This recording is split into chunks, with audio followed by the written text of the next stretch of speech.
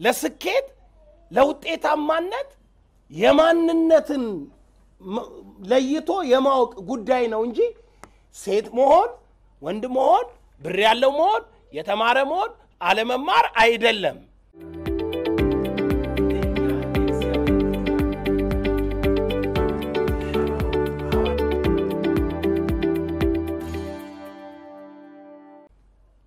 የስንዴ ቅንጣት ወገኖቼ አንድ ፍሬ ናት። ስንዴ ቅንጣት ውስጧ ያለውን ማንነት ካላወቀች እኔ ምን መሆን እችላለሁ ትላለች።? ኬክ አይታ፣ ድፎ አይታ፣ ገንፎ አይታ ምንም መሆን የምትችል አይመስላትም። ነገር ግን ውስጧ ያለው ብቃት መሬት ላይ ተዘርቶ ሲበቅል መቶ አፈራች ብንል መቶ አስር ሺህ ያፈራል ማለት ነው። ነገ በመቶ ስታባዛው እያለ እያለ ሲሄድ ኩንታል ትሆናለች። የምትለውን ገንፎ የምትለውን ዱቄት ከሷ ተጀምሮ ወደዛ መድረስ ወደ ሚሊዮኖች ቢሊዮኖች መድረስ ትችላለች። ያቺ ብቃቷን ካላወቀች ግን እንደ ስንዴ ቆሎ ተቆርጥማ ታልቃለች። ብራዘር ማንነትን ካላወቅ ሰንበዴ አፍ ውስጥ ተቆርጥመ ታልቃለህ። ማንነትን ካወቅ መርሁን ትከተላለህ። ምን ያልተገለጠ ያልወጣ ፖቴንሻልህን መለየት የመጀመሪያው እውቀት ነው። የመጀመሪያው ብቃት ነው። የመጀመሪያው የስኬት ምልክት ነው። ገና አልተሳካልህም። ገና አልተዘራህም። ገና ቡቃያ አልሆንክም። ገና ዛላ አልሆንክም። ገና ሰብል፣ ገና መከር ሆነ ብዙ አፍርተ አልታየህም። ግን ማንነትህን እዚህ ጋር ማወቅ ስኬትህ ጀምሯል። መከርህ ጀምሯል። ጌታ ኢየሱስ የህይወት መርህ ነው አይደለም የሚሰጠን? እሱን ነው የምንከተለው። የስንዴ ቅንጣት ሆኖ ወደ ምድር ሲመጣ ማንነቱን ነው ይዞ የመጣው። ያስተዋወቀው ማንነቱን ነው። የሚሰራው በማንነቱ ነው። ፈውስ ለመፈወስ አይደለም የመጣው። ታምር ለማድረግ አይደለም የመጣው። ነፍሱን ነፍሱን ቤዛ ካረገ በኋላ ዘሩን ያያል። ነፍሱን መስዋዕት አድርጎ ዘሩን ለመጠበቅ process ከመሄዱ በፊት ራሱን ነው የሚያስተዋውቀው። ጥያቄው የማንነት እውቀት ላይ ነው። አንተ ማነህ ይለዋል። መጥተው ማንነቱን ሊያስጥሉት መስቀል ላይ እንኳን ማንነቱን ሊያስጥሉት ክርስቶስ ከሆነ ይውረድ ይሉታል። እሱ ግን የተዘራ ስንዴ መሆኑን ያውቃል።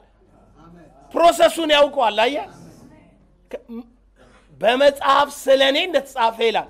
ራሱን መጽሐፍ ውስጥ አግኝቶ ነው እንዴ። ኢየሱስ እኮ ያውቃል። አዎ ያውቃል። እንዴ ወልድ እግዚአብሔር ነው። ሌላ መገለጥ በቴዎሎጂ ምናምን ትምህርቴ ውስጥ አትፈልግ እያልኩ ያለሁት አቤቱ አለ ፈቃድህን ላረግ መጥቻለሁ። በመጽሐፍ ጥቅልል ስለ እኔ እንደተጻፈ ከዚህ ውስጥ ነው አግኝቶ ነህ የሚለው ነኝ፣ ስልጣን አለ የሚለው ስልጣን አለኝ፣ እንዲህ ነው የሚለው ነኝ፣ ቅዱስ ነህ ቅዱስ ነኝ። ሰው ማንነቱ የሚነገረው የሆነውን ነው እንጂ ያልሆነውን አለ። ለምሳሌ አሁን እኔ ጻድቅ ነኝ፣ የእግዚአብሔር ልጅ ነኝ፣ ሁሉ ከእግሬ በታች ነው። በሽተኛ መሆን አልችልም፣ ድሃ መሆን አልችልም፣ ባሪያ መሆን አልችልም። በዘራችን የለም። እኔ ላይ አላየኸውም ማለት ዘራችን ያንን አይነት ነው ማለት አይደለም፣ አይደለም። እኔ ማወራው ስለ ዘራችን ነው። በዘራችን ሁሉ ከእግራችን በታች የተገዛ ነው። የአፋችን ቃል በዘራችን ሳይሰራ አይመለስም። የዘራችን ጉዳይ ነው። ልጅነት ዘሬ ነው። ሁሉ ከእግሬ በታች የሆነው ትልቅ ስሆን አይደለም።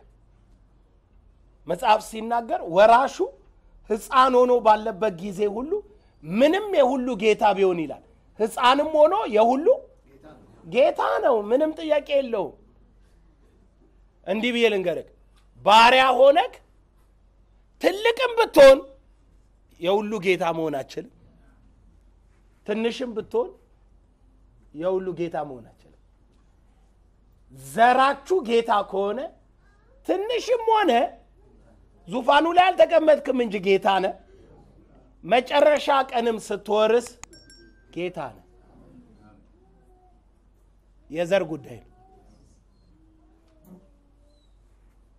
እስማኤል የባሪያ ልጅ ነው።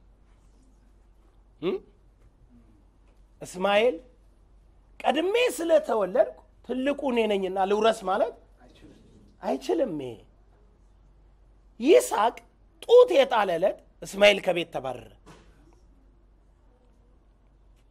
ጡት እስኪጣል ግን ይስሐቅና እስማኤል የአብርሃም ልጆች እየተባሉ አብረው ነው የሚወጡት የሚገቡት። ነገር ግን ለወራሽነት መጽሐፍ የሚያዘው የተስፋ ቃል ያለውን የዘር ጉዳይ ነው። ክርስትናችን እንዲህ ምስቅልቅል ያለው ዘራችንን አናውቅም። አጋንን ለማውጣት የጸጋ ስጦታ እንፈልጋለን። ቅዱስ ለመሆን የጸጋ ስጦታ እንፈልጋለን። እግዚአብሔር ካላለ መቼም እንዴት ይሆናል? አይደለም የሆነ ነገር ለመፍጠር ቆራቢ አባል መሆን እንጠየቃለን። የሆነ ነገር ለመሆን ተጠምቀሃል ወይ? የተጠመቀ ነው። ይሄንን ልሳን ለመናገር መጠመቅ ይጠየቃል። ወይ ትባላለህ። ጎበዝ፣ ልጅነት ልጅነት ነው። በቃ አንዳንድ ጉዳይ በቢሮ ለወንድም ጸጋ አገልግሎት የተሰጠ አይደለም። አንዳንድ ጉዳይ በዘርክ ውስጥ ያለ የልጅነት ራይትክ ነው። ኢንጂነር ላትሆን ትችላለህ፣ ግን ሰው ነህ። ሰውነትና ኢንጂነርነት አንድ አይደለም። ሰዎች ሁሉ ኢንጂነር አይሆኑም። ሰዎች ሁሉ ዶክተር አይሆኑም። ሰዎች ሁሉ ጎዳና ተዳዳሪ አይሆኑም። ሁሉንም ግን አንድ የሚያደርጋቸው ሰው ናቸው። ሰማኝ። ነፍስህ አንተነትህን ታውቃለች ወይ? የመጀመሪያ እውቀት አንተነትህን ታውቃለች ወይ? እኔ ሰው ነኝ እችላለሁ። ሃሌሉያ። ሰው ማለት ማን ነው? እግዚአብሔርም አለ ይግዙ፣ ምን ይበሉ? ለገዥነት ነው የተፈጠርኩት። ለገዥነት ነው የተወለድኩት። ገዥነት ምንድን ነው?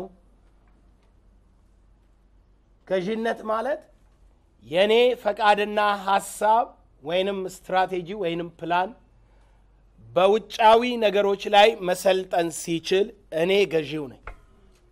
ሰልጠን ጀምሯል ማለት ከአንተ ልብ ሲወጣ አንተ ገዢ ነህ። ውጭ ያለው በአንተ ላይ ሲሰለጥን አንተ ተገዢ ነህ። ባሪያ ነህ ማለት እሱ ነው። ባርነቴ ነው። እስኪ አዳምን አስቡት። በስድስት ቀን የተፈጠሩ ነገሮችን እግዚአብሔር ሰራና ግዛቸው ሲል ወርቅ ከአዳም ይልቅ ዋጋ ካለው ገዢው ማን ነው? ወርቅ ነው። እግዚአብሔር ግዛን ያለው ሩል አርግ አለው። ባህሩን ግዛው ሲል ባህርና በውስጡ ያሉ ነገሮች ሁሉ በማን ቁጥጥር ስር ናቸው? በአዳም። በምድር ላይ የሚንቀሳቀሱትን ግዛ አለው። በአየሩ ላይ ያሉትን ግዛ አለው። ኤደን ገነትን ጠብቃት፣ አብጃት አለው። ሰውየውስ ምን ቢያስቀምጥ ነው እነኚህን ሁሉ መግዛት የሚችል ነገር የሰጠው? ምንድን ነው አንተ ውስጥ ያለው? ነፍስክ ማወቅ ያለባት እኔ ብለህ ማለት ነው። አንድ ሚስጥር ልንገራችሁ። ወደ እውቀት ያልተለወጠ ማንነት ሁሉ አይጠቅማችሁም። በዚህ የ YouTube channel ኤ ላይ መልካም የሆነን ምክር ቃል ድንቅ የሆኑ የእግዚአብሔር መገለጦችና የህይወት ጥያቄ መልሶችን እያገኙ ከሆነ ለምን ይዘገያሉ? ደውሉን ይጫኑ፣ like ያድርጉ፣ share comment ያድርጉ። እንደዚሁም ደግሞ ለወንድሞ ልክ እንደ እርሶ እንዲጠቀም share ያድርጉት። እርሱም ለሌላ share በማድረግ የእግዚአብሔርን ቃልና የህይወት ጥያቄዎችን መልስ እናገኛለን። ያነቃቆታል፣ ጥበብን ይካፈላሉ፣ ህይወትን ይካፈላሉ።